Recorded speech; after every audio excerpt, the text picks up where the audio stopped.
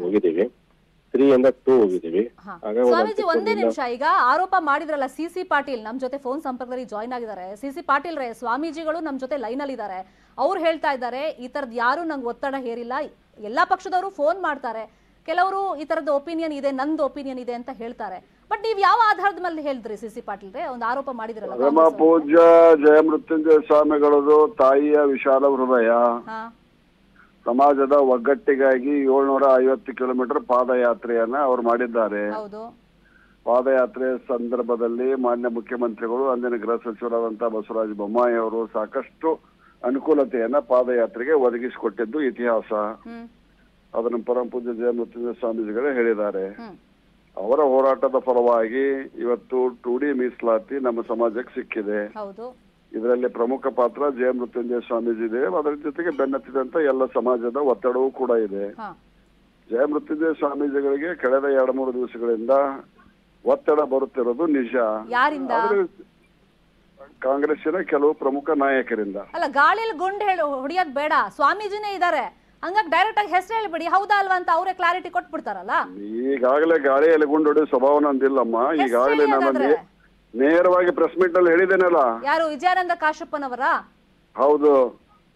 ಹೌದಾ ಸ್ವಾಮೀಜಿ? ಅವ್ರು ನೇರವಾಗಿ ಹೆಸರು ಹೇಳ್ತಾ ಇದಾರೆ ನೋಡಿ. ಈಗ ನೋಡ್ರಿ ಅದನ್ನ ಈಗ ಸಹಜವಾಗಿನೇ ಆರೋಪ ಪ್ರತ್ಯಾರೋಪ ಮಾಡೋದು ಬೇಡ. ಸಮಾಜಕ್ಕೆ ಒಂದು ನ್ಯಾಯ ಸಿಕ್ಕಿರೋ ಸಂಭ್ರಮದಲ್ಲಿ ಇದೀವಿ ಆ ಕಾರಣಕ್ಕೋಸ್ಕರ ವಿನಾಕಾರಣ ಅದನ್ನ ಹೇಳ್ಕೊಂಡು ಬೇಡ. ಮೊನ್ನೆ ಶಿವಕುಮಾರ್ ನಾನು ನ್ಯೂಸ್ ಏಟೀನ್ ಕನ್ನಡ ಮಾಧ್ಯಮದವ್ರಿಗೆ ಹೇಳಲಿಕ್ಕೆ ಇಷ್ಟಪಡ್ತೇನೆ. ಸಮಾಜದಲ್ಲಿ ಎಲ್ಲ ತರದ ಜನನೂ ಇರುತ್ತೆ. ಒಳ್ಳೆಯವ್ರು ಇರ್ತಾರೆ ಕೆಲವು ಕೆಟ್ಟವ್ರು ಇರ್ತಾರೆ. ಕೆಲವರು ರಾಜಕಾರಣ ಮಾಡ್ಕೋಬೇಕಂತಿರ್ತಾರೆ ಕೆಲವರು ಏನೇ ಆಗ್ಲಿಪ್ಪ ಸಮಾಜಕ್ಕೆ ಒಳ್ಳೇದಾಗಲಿ ಅಂತಿರ್ತಾರೆ. ಸಮಾಜಕ್ಕೆ ಒಳ್ಳೇದಾಗಲಿ ಅನ್ನುವಂಥದ್ರಲ್ಲಿ ಪರಮ ಪೂಜ್ಯ ಜಯ ಮೃತ್ಯುಂಜಯ ಸ್ವಾಮೀಜಿ ಮೊದಲನೇ ಸಾಲಿನಲ್ಲಿ ನಿಲ್ತಾರೆ. ನಾನು ನಾನು ಜಯ ಮೃತ್ಯುಂಜಯ ಸ್ವಾಮೀಜಿ ಜೊತೆ ಸಾಕಷ್ಟು ಸಲ ಜಗಳಾಡಿದ್ದೇನೆ ಸಾಕಷ್ಟು ಸಲ ನಾವು ಅವರು ಜಗಳಾಡಿದ್ದೇವೆ ನಾನು ಅವ್ರು ಕೂಡ ಮಾತು ಬಿಟ್ಟಿದ್ದೆ. ಆದ್ರೆ ಅವರ ಬದ್ಧತೆಯನ್ನು ನೋಬಡಿ ಕ್ಯಾನ್ ಕ್ವಶನ್ ಇಟ್ ಅವರ ಬದ್ಧತೆಯನ್ನು ನೋಬಡಿ ಕ್ಯಾನ್ ಕ್ವಶನ್ ಇಟ್ ನನಗೆ ಆಗಲೇ ಯಾರೋ ಕೇಳಿದ್ರು ಈ ಚುನಾವಣೆ ಬಂದ ಸಂದರ್ಭದಲ್ಲಿ ಅಂತೇಳಿ. ನೋಡ್ರಿ ಚುನಾವಣೆ ನಿಂದ್ರವ್ರ ಹತ್ತು ಹದಿನೈದು ಮಂದಿ ಪಂಚೊಂದ್ ಸಲ ನಿಂದಿರ್ಬೋದು.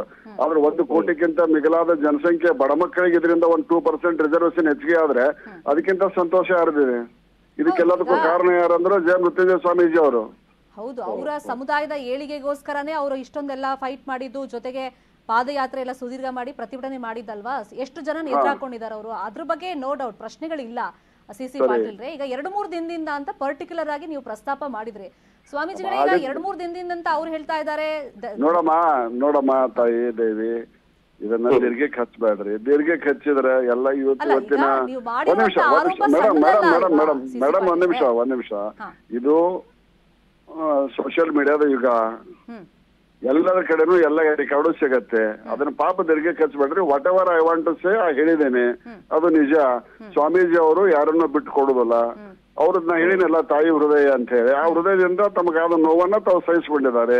ಇದಕ್ಕೆ ತಾವು ಸಹಕರಿಸ್ಬೇಕನ್ನುವಂಥದ್ದು ನನ್ನ ಮನವಿ. ಅಲ್ಲ ಖಂಡಿತ. ಈಗ ನೀವ್ ಹೇಳಿದ್ದು ಸಾಕಮ್ಮ ಸಾಕು. ನಿಮ್ಮ ಸುದ್ದಿಗಾಗಿ ಬಹಳ ಇದನ್ನ ಮಾಡಬೇಡ್ರಿ. ನಾವು ಏನ್ ಈಗ ನೋಡಿ ಒಂದು ಸಮುದಾಯಕ್ಕೆ ನ್ಯಾಯ ಕೊಡಿಸ್ಬೇಕು ಸಮಾನತೆ ಕೊಡಿಸ್ಬೇಕು ಅಂತ ಹೇಳಿ ಸ್ವಾಮೀಜಿ ಇಷ್ಟೆಲ್ಲ ಹೋರಾಟ ಮಾಡಿದಾಗ ದೊಡ್ಡ ವಿಷಯನೇ ಆಗುತ್ತೆ. ಹೋರಾಟದಲ್ಲಿ. ಅಭಿಪ್ರಾಯ ವ್ಯತ್ಯಾಸ ಇದ್ದಾಗ ಎಲ್ಲರೂ ನಾನು ನುಂಗ್ಕೊಂಡು ನುಂಗ್ಕೊಂಡು ಹೋಗಿದ್ದೇನೆ. ಎಲ್ಲರೂ ಸಮಾನವಾಗಿ. ಅದನ್ನ ಮತ್ತೆ ನಮ್ ನಮ್ಮಲ್ಲೇ ಅದು ಬೆಳೆಸೋದು ಬೇಡ. ಅದಕ್ಕೋಸ್ಕರವಾಗಿ ಈ ಒಂದು ಹೋರಾಟ ಹೋರಾಟ ಜಯ ಮೃತ್ಯುಂಜಯ ಸ್ವಾಮೀಜಿ ಹೋರಾಟ ಹೂವಿನ ಹಾಸಿಗೆ ಇದ್ದಿಲ್ಲ. ಹೌದು. ಮುಳ್ಳಿನ ಹಾಸಿಗೆ ಇತ್ತು. ಭಯಂಕರವಾದಂತ ಕರುಣದ ಹಾವಳಿ ಇತ್ತು. ಸಾಕಷ್ಟು ಎಲ್ಲ ಸಮಾಜದ ಎಲ್ಲ ವರ್ಗ ಜನ ಬಡವರಿರ್ಬೋದು ಶ್ರೀಮಂತರಿರ್ಬೋದು ರಾಜಕಾರಣಿಗಳಿರ್ಬೋದು ಅಧಿಕಾರಿಗಳಿರ್ಬೋದು ನಮ್ಮ ಸಮಾಜದ ಸ್ವಾಮಿಗಳಲ್ಲದೆ ನಾನು ಹೇಳಿದ್ದೇನೆ ರಿಪೀಟೆಡ್ ಅನ್ಯ ಸಮಾಜದ ಸ್ವಾಮೀಜಿಗಳು ಸಹಿತ ಇದಕ್ಕೆ ಉದಾರ ಮನಸ್ಸಿನಿಂದ ನಮಗೆ ಬೆಂಬಲವನ್ನು ಕೊಟ್ಟಾರ. ಬೆಂಬಲವನ್ನು ಕೊಟ್ಟಂತ ಸಂದರ್ಭದಲ್ಲಿ ಈಗ ನಾನನ್ನ ಕರೆಕ್ಟ್ ಹೇಳಿದ್ದೇನೆ ನಾನು ಪ್ರೆಸ್ ಮೀಟ್ ಅಲ್ಲಿ ತಮ್ಮವ್ರು ಇದ್ರು ಇಲ್ಲೋ ನನಗೆ ಗೊತ್ತಿಲ್ಲ. ಇದನ್ನ ರಾಜಕಾರಣಕ್ಕಾಗಿ ಬಳಸಿಕೊಳ್ಳುವಂತ ಪ್ರಯತ್ನ ಮಾಡಬಾರ್ದು. ರಾಜಕಾರಣ ಇವತ್ತಿರತ್ತೆ ನಾಳೆ ಹೋಗತ್ತೆ. ಇಲ್ಲಿ ಯಾರು ಶಾಶ್ವತವಾಗಿ ಕುಂಡ್ರಕ್ ಆಗೋದಲ್ಲ ರಾಜಕಾರಣದಲ್ಲಿ. What is the ultimate motto ಸಮಾಜದ ಬಡ ಮಕ್ಕಳಿಗೆ ಉದ್ಯೋಗದಲ್ಲಿ ಮತ್ತು ಶಿಕ್ಷಣದಲ್ಲಿ ಮೀಸಲಾತಿ ಸಿಗಬೇಕು. ಅದನ್ನು ಕೊಟ್ಟಂತ ಮುಖ್ಯಮಂತ್ರಿಗಳನ್ನು ನಾನು ಮತ್ತೊಮ್ಮೆ ಅಭಿನಂದಿಸ್ತೇನೆ. ಅದಕ್ಕೆ ಹೋರಾಟ ಮಾಡಿದಂತಹ ಪರಮಪೂಜ್ಯ ಜಯ ಮೃತ್ಯುಂಜಯ ಸ್ವಾಮಿಗಳನ್ನು ಹೋರಾಟ ಮಾಡ್ತೇನೆ. ಆಮೇಲೆ ಹರಿಯಾಣದಂತಕ್ಕೆ ಬಂದಾಗ ವಜ್ರಾನಂದ ಸ್ವಾಮೀಜಿನೂ ಕೂಡ ಅದಕ್ಕೆ ಸ್ವಲ್ಪ ಬೆಂಬಲ ಕೊಟ್ಟರು. ಅದನ್ನು ಕೂಡ ನಾನು ಸ್ವಾಗತ ಮಾಡ್ತೇನೆ. ಒಟ್ಟಾರೆಯಾಗಿ ನಮಗೊಂದು ನೆಮ್ಮದಿ ಸಿಕ್ಕಿದೆ.